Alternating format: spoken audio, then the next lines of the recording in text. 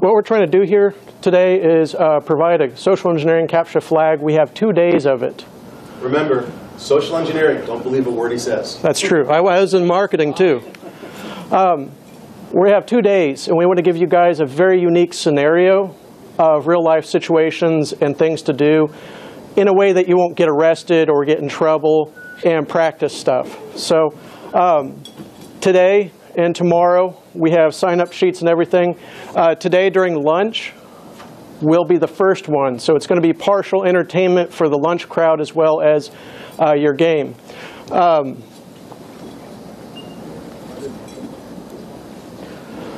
So we'll get started with some info. I'm going to give you some info. I'm going to give you some tips, uh, how to read people, how to do some stuff. This is not a extensive social engineering how to mess with people thing. Uh, this is just to get you guys prepped, get you some ideas, get some things thinking uh, of how to approach people and do stuff. So this is my bio slide. I don't really care to talk too much because we got a lot to do. So there's no disclaimers because you will be hacking stuff, you will be getting into people's heads, you will be messing with people. So there's no disclaimer. Everything aside from physical harm to human beings or the property is game. Anything you guys can do or come up with, do it and use it. Just don't harm another person, don't harm property. I guarantee you'll be able to use real life scenarios and do a lot of things you probably don't get to do legally with all this. So what we're doing is day one, we're doing cyber speed dating. So what's that's going to do for you is give you a scenario in which that you can cold read a person very quickly and try to get some information out of them. What I'll do is when we're done with this, I'll hand out some uh, little questions for everyone who's participating. You have six questions with a seventh bonus question. You have to go around and ask these to the people in the speed dating scenario. You have two minutes to get those six pieces of information out of them. So it's going to require you to plan ahead and figure some things out. We'll get into some tips and pointers on that. But the most important thing is, is try to get as much information of the person as fast as possible when you only have two minutes. When the two minutes is up, a whistle or someone will yell or do a duck call or whatever, get up, move to the next table, it starts all over again. And during this scenario, I'll hand out these sheets for you. You have results one through six with the seventh bonus question. Just write down the notes of what happened. Did you get the person to do it? Who'd you talk to? What'd you get out of them? Keeping it very simple and uh, easy to use. Later on, what that feeds into is a final report. Just like in the real world, you're going to have to do a report. So in order to win both days, you have to have a full report filled out. Uh, it's just like the real world. So the second day, uh, just to give you a preview, the second day, what's going to happen is you're going to line up for a job interview. What we're going to do is three minutes before your job interview, I'm going to hand you a resume. You have to assume that identity on that resume.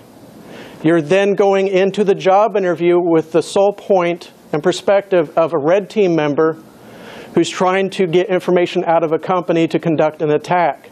This is a very, very effective real life scenario. Just got done doing this with uh, several people. The best part about it is, is when you go in for a job interview, think about it. They ask you questions about you, they interview you and everything, but they also just spill out everything about their company. They brag about their company. Sometimes they take you on a tour of the facility.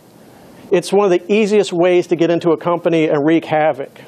So I want you guys to have that experience and try that. Not only do you have to extract information out of the people interviewing you, you need to maintain your cover. So someone asks you a question like, where are you from? And you told them one question, one thing, and you say another thing later on, that's a red flag that could get you in trouble. So again, final report is a really big deal, just like in the real world. It's kept pretty simple. I made it very, very easy for you guys.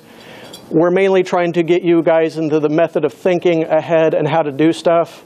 So day one results, just record them down on a sheet of paper for the, uh, the people that you go through an interview. Uh, hold on to that for tomorrow. We'll also hand out the packet for the final report. You can look through that, take it home with you tonight, read through it. It's also uh, very good to plan your attack for tomorrow. So you might want to do research. We've posted some fake company information, even a network diagram on our website. You can check out, start looking through, get some ideas, start developing a premise and pretext to use tomorrow. So one thing to do in all this is uh, to think about a few things such as pivoting your attacks, how pivoting works differently from um, adapting. Adapting, you simply adapt to the change and you move around and you move on. Pivoting is a little different. Pivoting your attack in social engineering, I want you to think about uh, a small child. Small child wants a toy. They go to their mother and ask their mother, hey, I want this toy, I want this toy, I want this toy. The mother provides resistance and tells the child, you know, go fuck off, go ask your dad. So the kid goes, but he maintains the same attack. He just pivots the attack to the father, asks the same question Dad, Dad, Dad, I want a toy, I want a toy. Keep that in mind. When you encounter resistance in social engineering, don't just sit there and drop everything and turn tail and run off. Stop, think real quickly what you have at hand, and pivot your attack. Maybe they said no to a question. So today in the speed dating scenario, maybe you directly ask a person a question. Maybe they just go back and say no. You can't just stop right then and there and go, well, fuck, they said no, better move on. One thing you could do is ask them another question, get what their answer is on that, and maybe go back and revisit the other question. Or maybe take that question that failed, ask it with different language or use it in a maybe a story scenario. Present it to them to get information out rather than directly asking them. Another thing to do is study your target ahead of time.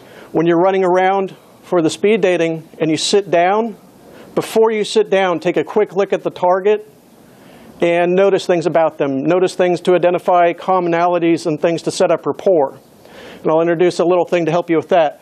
Also, when you're going through, watch for contradictions. We'll get into that when uh, language doesn't uh, sync up with your body language. Uh, it's a key indication of either someone's lying or concealing information, or it's maybe a, a point you need to focus on for your attack. The biggest thing today and tomorrow in all these capture the flags is keep it simple. We've had people uh, overcomplicate things, and that's when they get frustrated and lose keep everything simple. In our industry, we overcomplicate everything in our industry. And as long as you keep it simple today, you're just going to rip right through it. And if you keep it simple tomorrow, you'll rip right through it. So pivoting, again, just when you encounter an obstacle, you present an idea. You either uh, plan it out and do recon. So in the case of a kid wanting a toy, he knows he wants a toy he's going to go figure out, well, I can't buy the toy. I'm going to go ask my parents. So you have your plan and recon, and you execute it. Then you get your outcome. Your outcome being that, oh, I asked mom, mom said no.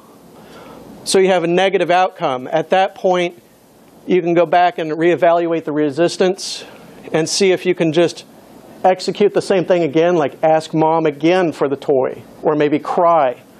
Or if you have flat out resistance and there's no way in hell you're getting anywhere, say you're asking the cheerleader, ahead of the cheerleader squad out for a date, she just says flat out no, that's probably a good point where you just want to just say, hey, let's just start over and go move on.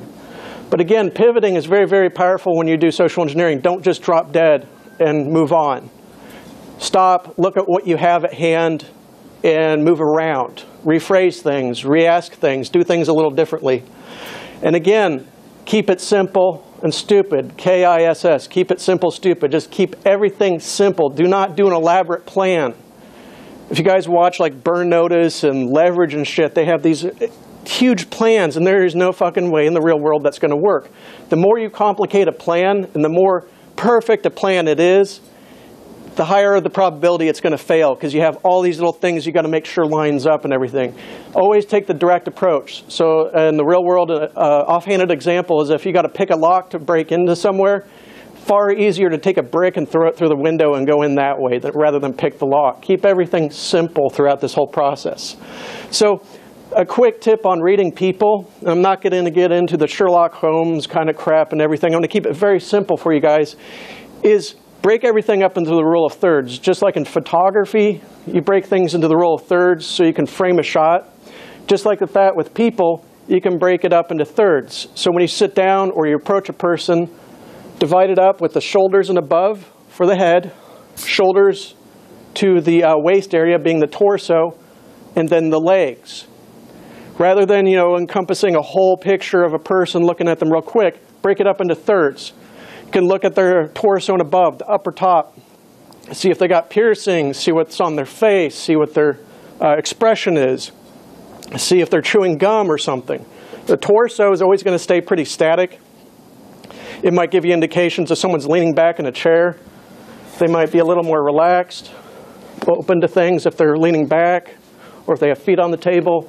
They'll be more open to things, but the torso is probably the easiest thing to look at and see. It's also the most static. Legs are great because with legs, you can see if a person has them crossed or if they're doing stuff.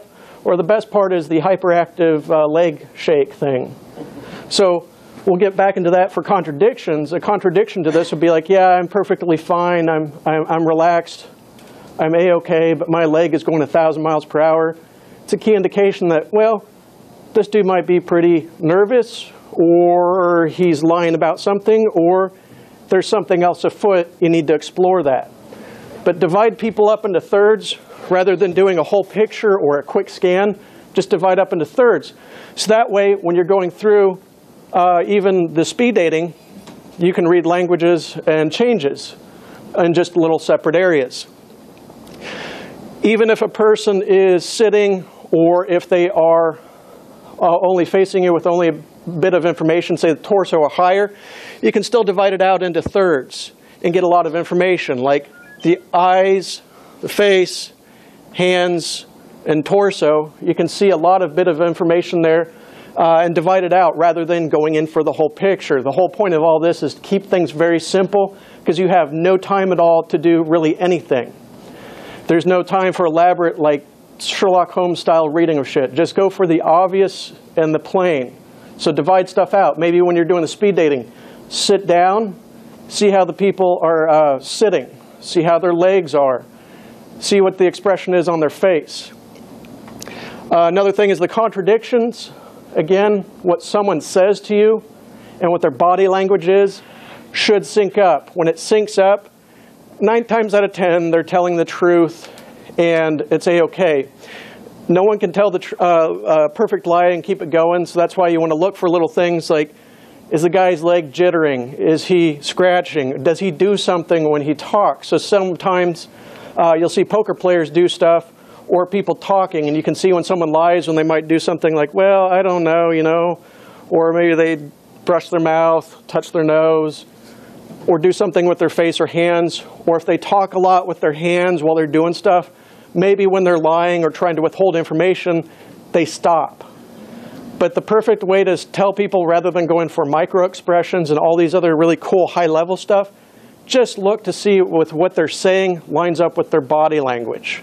And if you can't tell, what you want to do is sit there and watch their habits, see what they do over time.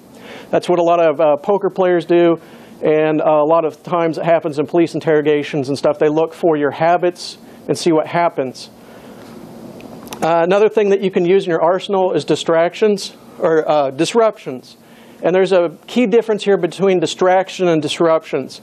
A distraction would be I pull down my pants right now and go, woo! You guys will just sit there and go, well, that was uncalled for. And um, that solved nothing, but the class is going to go on. Distraction doesn't do anything for the long term. A disruption is something you want to use. Think of it as hitting Control C or like a NOP sled. So if you're in the middle of, say, talking and speed dating, and someone is just yammering on and you can't get them to shut the hell up, what you might do is just get up, stretch, violate, and uh, disrupt their space. They were used to you sitting there talking straight ahead to them. They had a comfort zone and level. You might just get up and stretch and go, oh, I'm sorry, I've been flying all day. Uh, reach around, stretch, get up, walk around. You've disrupted their space and their comfort zone, or if it's an extreme, you might get up and walk around to them, maybe talk to them or shake their hand or do something. But you're disrupting the space And the, what that gives you is an ability to inject something else in at that time. So maybe you get up and yawn while someone's yammering on, and you tell them, ah, you know, I just was traveling a long ways. By the way, have you ever, fill in the blank, use a question? Or another way to uh, disrupt someone who is talking on and on and on, do something simple and benign like look at your watch or something of that nature. You don't want to go to extremes on that. An extreme situation would be um, I used to do music magazines and interview people. I had to interview Aphex Twin, who was notoriously a shy guy and a bit of an asshole.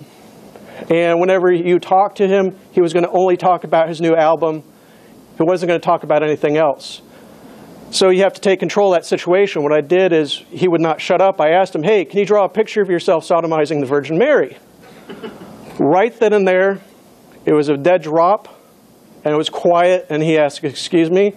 Right then and there, I injected a question, go, so you did this album, but what about your tour? Or what about this? I don't suggest that kind of extreme, but you kind of see, inject something in to disrupt, take control, and dominate the conversation. And that's another thing you guys are going to need to be cognizant of during the speed dating is you only have two minutes. And if you get someone talking too much on one question, it's going to eat up all your time. So think about taking control of the situation, and you might have to disrupt them. Stand up, yawn, get up. Uh, if you're ever in a boardroom, one thing that works good if you have a bunch of C-level executives that are just yakking, get up, practice golf swings. But again, remember, a distraction is only going to serve you for a couple seconds and forget and not serve you well. Disruption is going to let you inject stuff into the conversation that you want to do so you can grab control. Again, Keep it simple and stupid. KISS.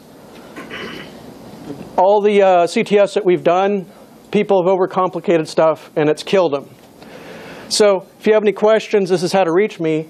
So what we're going to do here, and uh, I'm going to open up to questions and stuff. What we're going to do is as soon as this is done, need you guys to come down. We have the questions here. These questions don't show it to anyone because we're still trying to get some volunteers to participate as the interviewees that you're going to interview. Take the questions, guard them, do not disclose them to anyone, because if the guy across the table finds out that question, he's going to make your life hell. And it's already going to be hard as it is. Anyways, um, we'll ask you guys to pick up several of these sheets for the day one results for the speed dating. Again, you have slot one through six. Just write down the answer to the question that you received and who the person was. If you can get bonus question number seven, do that. And then when we move on to um, day two, let's see here. You'll get more into the packets. The packets have some pretty simple questions, such as uh, explain the process used on day one. We're just looking for what did you do, what did you think ahead of, how did you ask the questions. We're leaving it pretty wide open for you to interpret and put whatever in you want. What we're looking for is if the report is completely filled out. That's going to dictate the winner. If you submit everything and a fully completed report, that's how you're going to win. In Vegas, the team that won in Vegas, they had a completed report, and that's ultimately how they won. Um, other things here, just kind of phrasing on how you felt you did, what did you do, what would have you done differently. We're keeping it simple and very open to interpretation. I just want to get you guys introduced to how you would start approaching social engineering from a reporting perspective, as well as how you would use it in real life. Day two, uh, we'll make some announcements later tonight and tomorrow. We're going to have isolated classroom for day two. What we're going to have you do so line up outside. We have some professors at the university that will be conducting the job interviews. Uh, we'll come out one at a time, hand you your resume, three minutes, read the resume, get your ideas, uh, assume the identity, go into the job interview. It's going to be a standard job interview. But sit there tonight and think about things that you could do and ask. Maybe ask them, well, is it my responsibility to do antivirus patching or uh, patching for updates. And they might go, well, yes, it is. Then you can lead into that and go, well, how often do you update? Answer might be, well, we have WSUS server and we haven't figured out how to do it yet, so we don't patch. That would be something to note. You need to keep the perspective of going into the job interview, how to get the information out for you to do a red team pen test later on. Because part of day two on the report, you have to write out your planned idea for an attack based off the information that you got. So tonight and today, go to our website, check out the company info. Uh, you're going to be attacking a company called CloudWasher Incorporated. They do uh, cloud washing. They wash the cloud. They get rid of malware and everything out of the cloud. It's a load of crap. But you can read through everything and get information that you need. Form an attack tonight. Think about it. Think about how you want to attack them. There's a network diagram too. You could use that to phrase questions like, well, I see you have this product line. Do you patch it or where is it or where's your DMZ? What, what, how expansive is your network? How many people do you have working off site? Things like that, you can start asking questions that may seem benign during a job interview, but it's going to give you a perspective of, oh, well, they don't patch. They have no idea about their geographic boundary of the network. They have no testing for phishing or security awareness. Maybe I'll do a phishing attack and fish the shit out of them and then maybe follow up with just plugging in a laptop at their business. You could ask them about if they have security policy for uh, bringing your own devices in. But just start thinking ahead tonight. Read the information, see what you can get, start asking questions, and uh, get everything put in, together for that. Because tomorrow is going to be a little more extensive. Today, at lunch, uh, meet downstairs in the cafeteria area. There's a bunch of chairs out there. Meet down there. Uh, we'll have everything set up and start asking questions. Remember, absolutely keep it short and simple and stupid because you have two minutes to get six questions out of a person. You will not get all six, but try as hard as you can and use everything in your SE toolbox. Again, the only rules, no physical harm to people, no physical harm to property. Everything else is a go. Do the most malicious things you can to get information out of people. Uh, So this is going to give you an opportunity to test, try, do whatever you want that you haven't been able to do in the real world. And tomorrow especially. Tomorrow, anything goes again. Just no physical harm to people or property. You might even uh, go home tonight and figure out some props or something to help out with the job interview. But again, the information for tomorrow's up online. Get the premise and pretext going. And um, if there's no questions, I'll pass out information to you guys. But do any of you have any questions? And um, two more tips for you guys. If you hack my website, you will not get any answers. It's been hacked two times already for this. There's no answers online. and um, also, uh, offering to buy me drinks and trying to social engineer me will not get you any information for the capture flag here as well as Vegas. What's happening in Vegas, these, all these little local events are leading up to Vegas in 2013 we are having a massive, massive CTF in Las Vegas B-sides. Uh, you'll be able to do all sorts of scenarios uh, involving the hotel staff, uh, the hotel perimeter, everything. Uh, you might have to invade a call center. You might have to social engineer people out of a call center. You might have to uh, attack an Outlook uh, website. Um, it's literally going to be one of the largest CTFs ever planned. Anything goes.